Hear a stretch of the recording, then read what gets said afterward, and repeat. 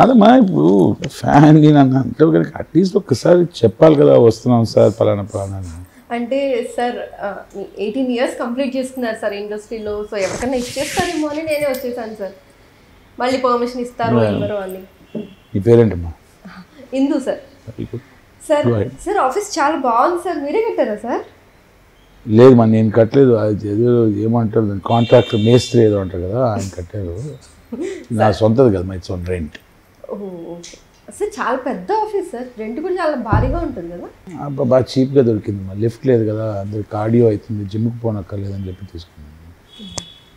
Okay. Sir చెప్పారు sir నేను వచ్చేటప్పుడు నా ఫ్రెండ్స్ అందరూ చెప్పారు శ్రీకాంత్ అయ్యంగారికి కొంచెం కోపం ఎక్కువ జాగ్రత్తగా ఉండు అని చెప్పారు సార్. అవునా సార్ కోపం వస్తుందా?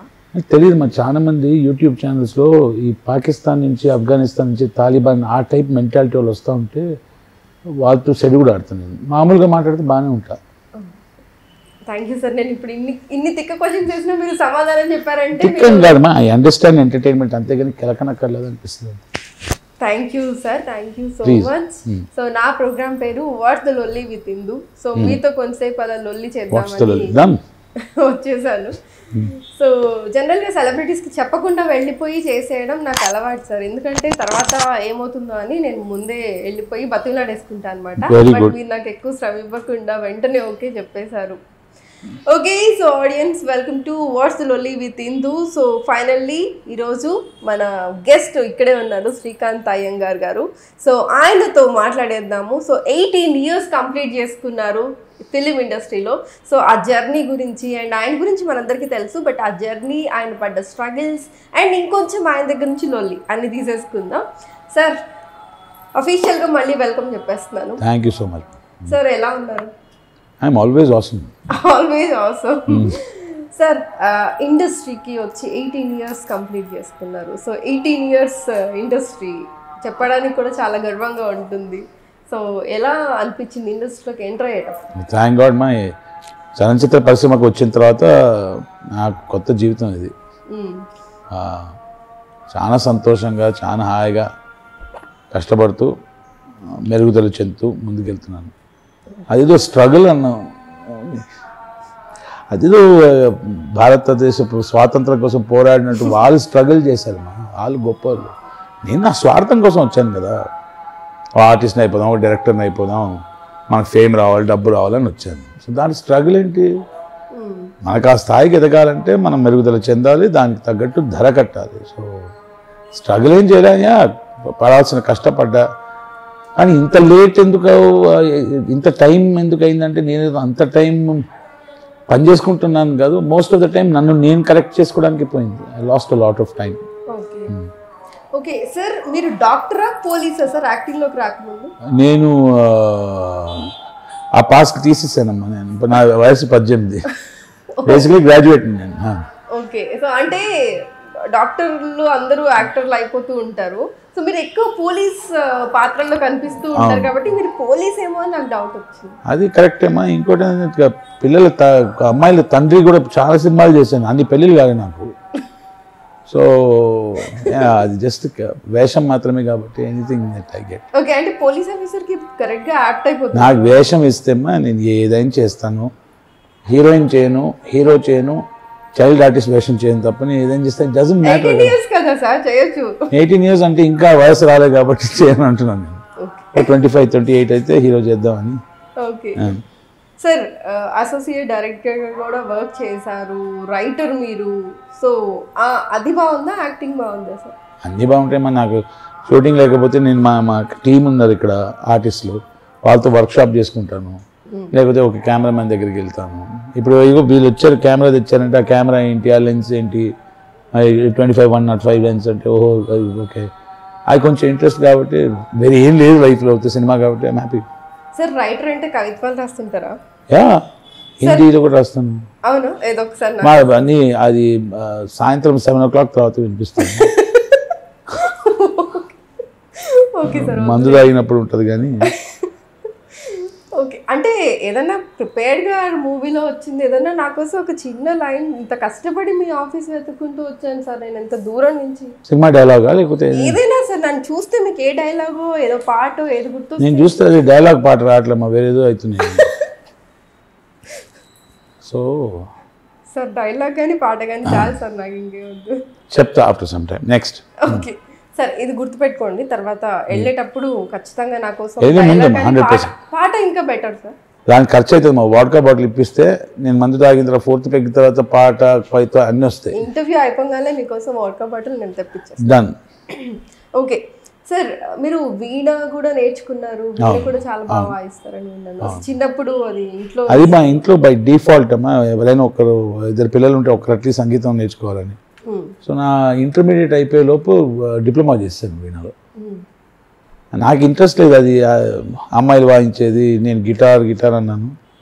కానీ నేర్చుకున్నది అది ఏదో పనికి వస్తుంది కాబట్టి I enjoy playing music sir రీసెంట్గా సినిమాలో మీరు అశ్విని దేవతలు ఉంటాయి తదాస్తు అన్నారు? అంటే శుభ్రానికి. దేవుడు is big waste of my time ఆ దరిద్రపు టాపిక్ మాట్లాడను. దేవుడు రిలీజన్ అంత బొక్క కులము గిలం అంత బొక్క ఓకే నమ్మేటోళ్ళు దేనికి పనికిరాని వాళ్ళు అని నా అభిప్రాయం ఓకే సో టాలెంట్ నమ్ముకొని ముందుకెళ్ళిపోవాలి. టాలెంట్ కూడా టాలెంట్ ఇస్ చీప్ కష్టపడాలి. టాలెంట్ కొందరిలో ఉంటుంది కొందరు ఉండకపోవచ్చు. టాలెంట్ వల్ల ఎవడు పైకి వస్తాడని గ్యారంటీ లేదు కానీ కష్టపడితే మాత్రం పైకి వస్తాడు. టాలెంట్ ఉండి శ్రమిస్తే హండ్రెడ్ పర్సెంట్ రిజల్ట్ వస్తుంది. ఎప్పుడు వస్తుందో తెలియదు కానీ గ్యారంటీ రిజల్ట్ వస్తుంది. గ్యారంటీ. ఓకే. ఈ దేవుడిని నమ్మడం అంత బొక్క కదా వేస్ట్ లేనే లేడాడు. ఓకే.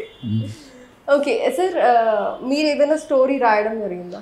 నేను నేను- నేను చేసిన పిచ్చి పనులు చాలా ఉన్నాయి. మా స్టోరీలు రాశాను. ఇప్పుడు సినిమా ప్రొడ్యూస్ చేస్తున్నాను దానికి కథ రాస్తున్నాను. ఓకే. నేను ట్వంటీ సెవెన్ ఫిల్మ్స్ అసిస్టెంట్ డైరెక్టర్గా పనిచేశాను. ఒక త్రీ మూవీస్ డైరెక్ట్ చేశాను. నాలుగు నాటకాలు డైరెక్ట్ చేశాను. So okay. రేపు పొద్దున లైట్ ఆఫీసర్ జాబ్ చేయమని చేస్తాను. హ్యాపీగా. సో ఏదైనా సరే కష్టపడాలి కష్టపడి అది ఒకటే దారి. ఏదైనా దక్కించుకోవాలి అంటారు. Super sir. సార్ ఆర్జీవి గారుతో వర్క్ చేశారు. సో ఖచ్చితంగా మిమ్మల్ని వచ్చిన వాళ్ళందరూ ఈ క్వశ్చన్ అడిగే ఉంటారు నాకు తెలిసి. సో ఆర్జీవి గారి దగ్గర నుంచి ఏం నేర్చుకున్నారు? నా చలనచిత్ర పరిశ్రమలో నాకు నటుడుగా ఫస్ట్ అవకాశం ఇచ్చింది నీలకంఠ గారు. అంటే అది అంగ్రేజ్ అనే సినిమాలో చేశాను కానీ నీలకంఠ గారే ఫస్ట్ అవకాశం ఇచ్చారు. పెద్ద అవకాశం అంటారు కదమ్మా అంటే ఒక మెయిన్ విలన్గా అట్లాంటిది ఇచ్చిందంటే బాణం సినిమా డైరెక్టర్ ఉన్నారు కదా చైతన్య దంతులూరి గారు. ఆయన బసంతి అనే సినిమా తీశారు. రాజా గౌతమ్ బ్రహ్మానందం గారి ఆ, అవును తనయుడు ఆ సినిమాలో మెయిన్ విలన్ అదే పెద్ద అవకాశం. కానీ ఎంతోమంది దర్శకులు అందరితో పనిచేశాను అందరు నాకు అవకాశం ఇచ్చి ప్రోత్సహించి అన్నీ చేశారు కానీ రామ్ గోపాల్ వర్మ గారు అంటే ఆయన డాన్ నాకు. హీఈస్ మై గాడ్ ఫాదర్ ఆయన. ఎందుకంటే ఆయన దగ్గర ఉంటే కొన్ని అది పచ్చి నిజాలు అంటారు కదా నేను నిజాలు అంటాను. పచ్చి నిజం పండిన నిజం నాకు అర్థం కాదు. నిజాలు తెలిస్తే ఏమంటే నీ స్థాయి ఏంటి? నువ్వు ఎక్కడికి వెళ్ళాలనుకుంటున్నావు? ఇక్కడికి అక్కడికి ఎంత దూరం ఉంది? ఎంత గ్యాప్ ఉంది? నీ స్థాయిని నువ్వు ఎంత పెంచుకోవాలి? అది జస్ట్ ఫైవ్ మినిట్స్లో చెప్పిస్తాను.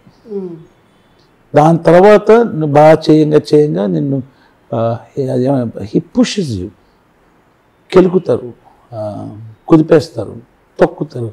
ఇరిటేట్ చేస్తారు. ప్రోత్సహిస్తారు. మందలిస్తారు. అన్ని రకాలుగా నన్ను అలా చేసి చేసి I become a far better performer okay so RGV sir Zindabad my godfather కానీ మీరు చెప్పింది మొత్తం ఆర్జీవి గారికి అప్పుడు ఫేస్ ఇప్పుడు ఫేస్ వేరే ఉంది అనేది కనిపిస్తుంది కదా సార్. యూట్యూబ్ ఎక్కడ చూసినా కానివ్వండి ఆయన మాటలు కానివ్వండి అంటే టూ డిఫరెంట్గా కనిపిస్తున్నారు. ఏదో చేస్తున్నాను వెళ్ళిపోతున్నాను అన్న స్టైల్లో ఉంది ఆయన సినిమాలు కానివ్వండి ఆయన మాటలు కానివ్వండి అంటున్నారు. ఈ మధ్య కాలంలో ఇప్పుడు ఆయనకు అట్లీస్ట్ వాంటెడ్లీ నాకు ఇలా జీవితం నచ్చిందని బతుకు బతుకుతున్నారు. ఇప్పుడు దొడ్డి మీద ఒక క్రిమి ఉంటుంది కదా దొడ్డి తినే క్రిమి అట్లా యూట్యూబ్ ఛానల్లో వెళ్ళి ఆయన మీద పాకెందుకు బతుకుతున్నాను నేను అడగలేదు కదమ్మా ఆయన ఆయన బతుకు బతుకుతున్నారు. కష్టమైతే మాట్లాడద్దు ఆయన గురించి. ఆర్జీవి గారి నుంచి మాట్లాడకపోతే తమ్ నీల్స్ రావు వ్యూస్ రావు. ఆయన గురించి మాట్లాడాలి ఆయన కించపరచాలి పాకాలి. దానికి మన దేశపు పౌరులు చేయనక్కర్లే అంటున్నా. పక్క దేశంలో ఉన్నారు కదా పాకిస్తాన్ ఈ తలిబాన్ అట్లా ఉన్నారు. మనం అలా కానక్కర్లే అంటున్నా అంతే. రామ్ గోపాల్ వర్మ గారు ఒక శివ తీశారు మీ ఛానల్లో ఏం పీకారు? కదా. ఆయన ఒక సర్కార్ చేశారు. పోనీ ఆయన ఒక జిఎస్టీ తీశారు. మీరు ఏమీ చేయని వాళ్ళు పుడింగిల్ గురించి ఇలాగే మాట్లాడతారు. నాకు రామ్ గోపాల్ వర్మ గురించి కానీ ఏ దర్శకులు అయినా గురించి కానీ ఏ నిర్మాత అయినా ఆయన ఏం తీసినా అట్లా చులకరంగా మాట్లాడేటోళ్ళకి పంది దొడ్డి కన్నా హీలం అంట వాళ్ళు.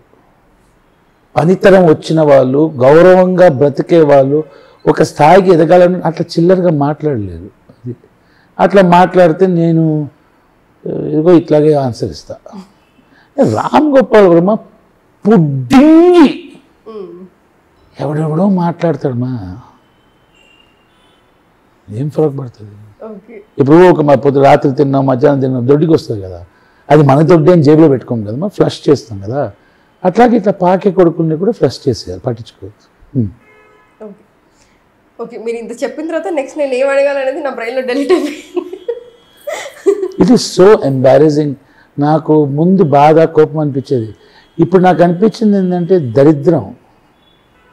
ఆయన గురించి మాట్లాడి వ్యూస్ థమ్నీల్స్ కొట్టేసి బతకడం కదా దానికి ఉత్కృష్ట దరిద్రం అని పెట్టారు. పేరు అక్కర్లో అట్లా బతకడం. మంచి చేసి కూడా బతకవచ్చు రాదు ఏం చేస్తాం? I can understand. Okay so RGV గారు పూరి గారు. సో ఇద్దరి గురించి చెప్పాలంటే డిఫరెన్స్ ఏం చెప్తారు? రామ్ గోపాల్ వర్మ గారు ఈజ్ అన్ ఎక్స్ట్రాడినరీ నాకు ఆయన బాగా ఇష్టం కాబట్టి he's he's he's too brilliant he's he's genius నాకు రామ్ గోపాల్ వర్మ గారు కానీ పూరి గారు కానీ ఏ దర్శకులు ఏ నటుడు ఏ నటీమణి అయినా కానీ నాకు ఎవరితో పర్సనల్ రిలేషన్షిప్ అని ఉండదు. మ్మ్. ప్రొఫెషనల్ కానీ కలుస్తాను అలాగే మెయింటైన్ చేస్తాను. ఇప్పుడు పూరి జగన్నాథ్ గారు అయితే రామ్ గోపాల్ వర్మ గారి అవును. కృష్ణవంశీ గారు రామ్ గోపాల్ వర్మ గారి శిష్యుడు. నేను కృష్ణవంశీ గారి సినిమాలు ఎప్పుడు నటించలే కానీ పూరి గారి సినిమాలు మూడు చేశాను. ఆయన ఒక టైప్ ఆఫ్ బ్రిలియంట్ జీనియస్. ఈయన ఈయన ముదురు brilliant extraordinary too much ridiculous genius Ram Gopal Varma గారు. వీళ్ళ స్టైల్స్ డిఫరెంట్ రామ్ గోపాల్ వర్మ గారు is too focus is too fast and all that Puri గారు ఈజ్ వెరీ చిల్డ్ తనకు కావాల్సింది ఎలా కావాలో అలా రాబెట్టుకుని వెళ్ళిపోతారు. So Puri sir I love him man one of okay sweet hearts in the film industry the most amazing man killing Veerappan అనే cinema preview జరుగుతుంది ప్రసాద్ ల్యాబ్స్లో అప్పుడు రామ్ గోపాల్ వర్మ గారు ఇంట్రడ్యూస్ చేశారు. ఆ, జగన్ బాగా చేస్తున్నాడు తిను అనగానే అవునా? బట్ నేను పిలుస్తా అన్నారు. పూరి గారిని కలిసా. అన్న ఆనందంలో ఉండిపోయాను. తర్వాత పిలిచి ఇజం పైసా వసూల్ మెహబూబా మూడు సినిమా అవకాశం రుణపడి ఉంటాను మా వాళ్ళకి.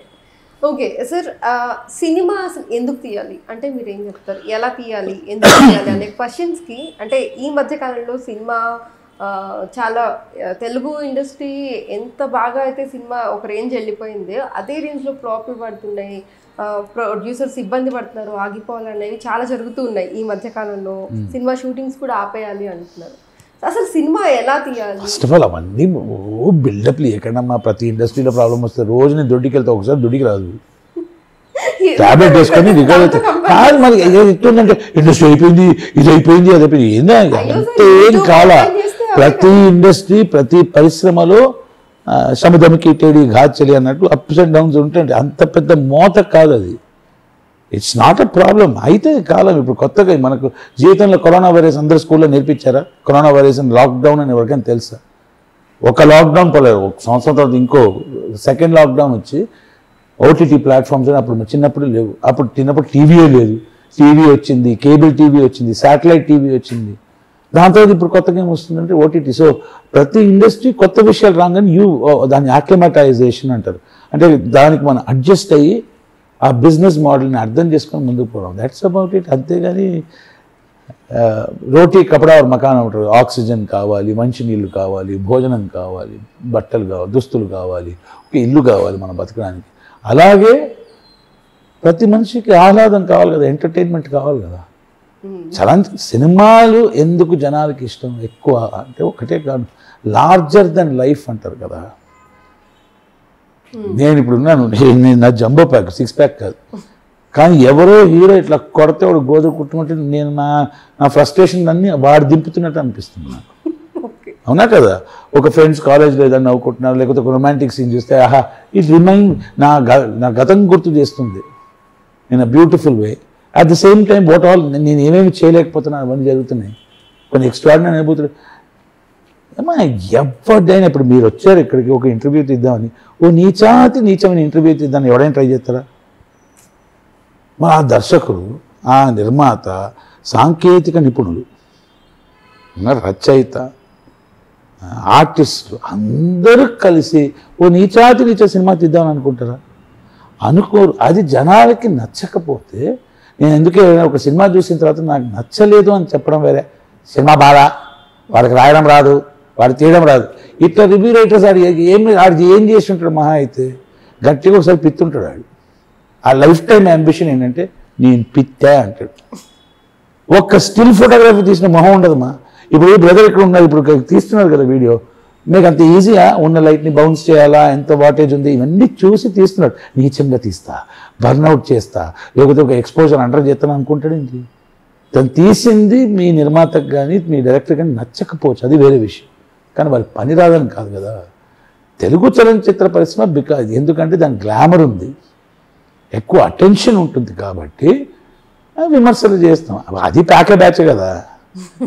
సినిమాలో శ్రీరాణి వాళ్ళ కొడుకులు అందరు రాస్తారు. ఓకే. సో అంతే కష్టాలు వస్తూ ఉంటే పోతూ ఉంటాయి. సో అది అంతే అంటారు. ఓకే. సార్ ఇక మీ ఫ్యామిలీ విషయానికి వస్తే మీ నా ఫ్యామిలీ లేదు మా. నేను అది అంటే పూరిగా సినిమా ఏక్ నిరంజన్. సార్ పెళ్ళి కాలేదా మీకు? పాతగాయలు ఎందుకులేమ్మా ఇప్పుడు? Right now I'm single very ready to mingle and you really look very resplendent today నాకు so already please note that I'm I'm interested already boy friend ఉన్నాడు. That's okay with me okay sir ఇప్పుడు మీరు ప్రొడ్యూసర్గా మారారు. ఆ, మీరు already ప్రొడ్యూసర్గా మారి ఆ మూవీ కోసం స్టోరీ ప్రిపేర్ చేస్తున్నారు సో డైరెక్షన్ ఎప్పుడు? తెలియదు మరి నడుస్తుంది. ఈ పిక్చర్కి టైం ఉంది. ఎంతకాలం ఉన్నాడో ఇది సినిమా తప్ప వేరే రాదు అది పర్సనల్ లైఫ్ అని వదిలేస్తే ఉంది ఈ సినిమా కాబట్టి ఏదో చేస్తూ ఉంటాం గ్యారంటీ. సార్ నాకు ఎందుకు మీరు మాట్లాడుతుంటే కంప్లీట్గా కొంచెం ఆర్జీవి గారు కొంచెం చేంజ్ అయ్యి మాట్లాడితే ఉంటుందో కరెక్టే మా గొప్ప స్థాయి వ్యక్తులు ఇలాగే మాట్లాడతారు. ఓకే. ఓకే అండ్ ఫ్యామిలీ అంటే ఇప్పుడు సింగిల్ అన్నారు. So parents? ఉన్నారు మా బట్ ఐ డోంట్ వాళ్ళ గురించి నేను మాట్లాడిన ఎక్కువ. ఇది ఆర్జీవి గారికి వేరే వర్షన్ కాదు సార్ ఆర్జీవి గారి వర్షన్. ఆయన మాట్లాడతారు కదమ్మా. ఆయన కూడా ఇంచుమించు ఇలాగే మాట్లాడతారు సార్. మళ్ళీ ఆర్జీబీ ఆర్జీబీ ఆర్జీబీ జపం చేయాలి. వ్యూలు